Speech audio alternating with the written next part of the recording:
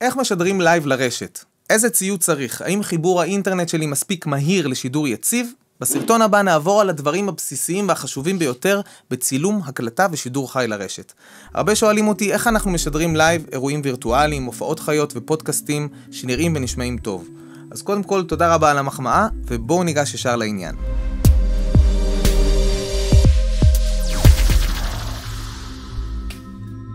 שלום לכולם, אני סני דהרי מאודיוטוקס. אנחנו כאן כדי לעזור לכם לשתף את המסר, הידע והאומנות שלכם בצורה הטובה ביותר.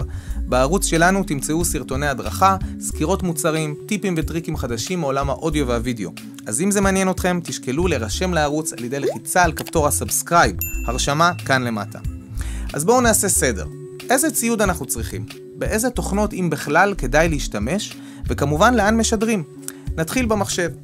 מחשב השידור שלנו יכול להיות Mac או PC, זה לא משנה, ניתן לשדר עם כל מחשב סביר מהשנים האחרונות, אבל בהחלט מומלץ לבחור מחשב חזק ומתאים ליישומי וידאו, כדי לספק שידור יציב עם יותר אפשרויות שנדבר עליהן בהמשך.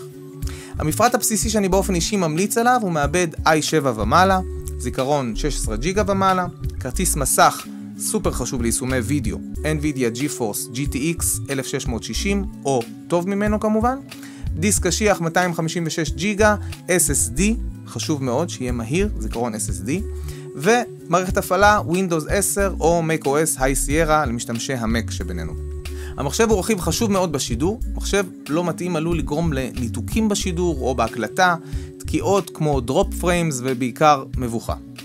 נמשיך למצלמה. אני רוצה לדבר על שתי אופציות עיקריות שיש לנו לבחירת מצלמה ל-streaming. מצלמת Webcam USB או מצלמת DSLR Mirrorless. היתרונות במצלמת Webcam הוא המחיר וחיבור ה-USB שעושה את החיים קלים ופשוטים.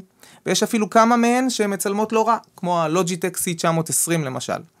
עם זאת, ההבדל באיכות התמונה משמעותי ביותר כשעוברים למצלמות מקצועיות או חצי מקצועיות, כמו ה-Canon Vixia 800 או Sony Alpha 6400 למשל.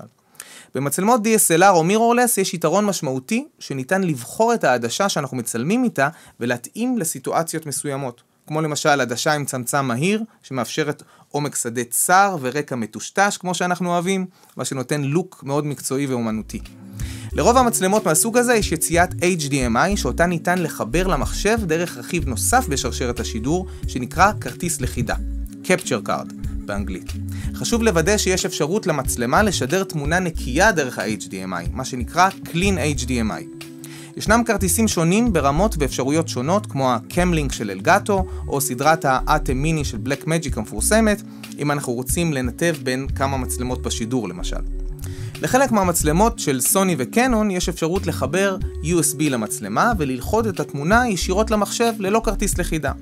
אבל מהניסיון שלי איכות התמונה פחות טובה, ובהרבה מקרים זה לא מעביר סאונד, ככה שאני פחות ממליץ. ואם כבר דיברנו על סאונד, אז לדעתי איכות הסאונד בשידור לא פחות חשובה מאיכות התמונה, ויש שיגידו שאפילו יותר. ככה שחשוב להשקיע במיקרופון איכותי ובכרטיס קול שילכוד אותו למחשב. ישנם מיקרופונים עם חיבור USB שניתן לחבר ישירות למחשב ללא צורך במיקסר או בכרטיס קול ייעודי. תוכלו להעמיק בנושא בסרטון מיוחד שצילמתי על מיקרופונים, בלינק כאן למעלה. הנושא החשוב הבא שנדבר עליו הוא תאורה. אנחנו יכולים לצלם במצלמה סופר איכותית, ולסדר את החדר הכי יפה שאפשר, אבל אם התאורה לא תהיה טובה, הסרטון לא ייראה טוב. אני יכול לומר שאפילו עדיף להשקיע בתאורה ולצלם עם הסמארטפון שלכם, מאשר לקנות מצלמה מקצועית ולצלם ללא תאורה מתאימה. אני באופן אישי משתמש בפנסים בטמפרטורת אור בסביבות ה-5600 קלווין, שזה מזכיר תאורת אור יום, Daylight, ומרכך שמפזר את האור בצורה שווה על האובייקט שאני מצלם, במקרה הזה אני. בגדול, אני אוהב שהתאורה כמה שיותר רכה וטבעית. וככל שמקור האור יהיה גדול יותר ביחס לאובייקט שאתם מצלמים, התאורה תהיה רכה יותר. יש משפט באנגלית שאומר The bigger the source, the softer the light. ככל שמקור האור גדול יותר, ככה האור יהיה רך יותר. אני משתמש לרוב בפנס של חברת Aperture 120D2 עם מרכך פרבולי עמוק וגדול, שבדרך כלל מספק את הסחורה. ישנם פנסים טובים שיעשו עבודה מעולה גם במחיר נמוך יותר, כמו ה-SL60 של גודוקס למשל. אני מאוד אוהב להשתמש בפנס נוסף שמאיר מאחור את אזור הראש והשיער, וכך מפריד אותי מהרקע ומייצר הילת אור עדינה סביב האובייקט. נדבר בהרחבה על שיטות שונות ומגוונות לתאורת צילום בסרטונים הבאים. אז אל תשכחו להירשם לערוץ, ללחוץ על פעמון, כדי שתוכלו לקבל הודעה כשנעלה אותם. אז הבנו איזה ציוד אנחנו צריכים, אבל איך אנחנו עוטפים את הכל באריזה יפה ומסודרת ומשדרים לרשת, לקהל שלנו. ישנם הרבה דרכים לשדר את התוכן שלנו.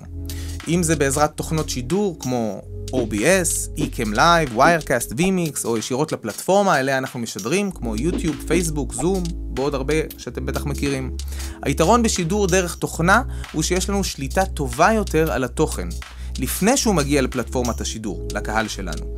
אנחנו יכולים לסדר את התזמון, את הסינק בין התמונה לסאונד אם צריך, לשפר את החשיפה ואיזון הצבעים, להוסיף כותרות, מצגות, לוגו, שקופיות פתיחה וסיום, ולהקליט את השידור לשימוש עתידי. למעשה יש לנו הרבה אפשרויות עם התוכנה. אחת התוכנות שאנחנו מאוד אוהבים לשדר איתה היא Ecam Live. Ecam תוכנה מאוד פשוטה לשימוש, לא יקרה ויציבה מאוד, שמאפשרת גם למי שאין הרבה ניסיון בתחום, להפיק שידורים ברמה גבוהה מאוד. חשוב לציין שכרגע לפחות התוכנה עובדת על מחשבי Mac בלבד.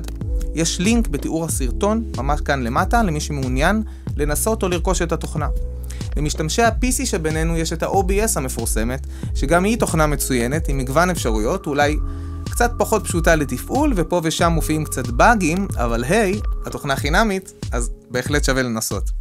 למתקדמים שביניכם שמפיקים אירועים וירטואליים מורכבים וצריכים לנתב בין כמה מצלמות פלוס VTR, סרטונים שהוקלטו מראש, שילוב של שקופיות, מצגות ועוד דברים מהסוג הזה, אני ממליץ לנסות את ה-Wirecast שמתאימה ל-Mac ול-PC או VMix אם אתם משתמשי PC בלבד.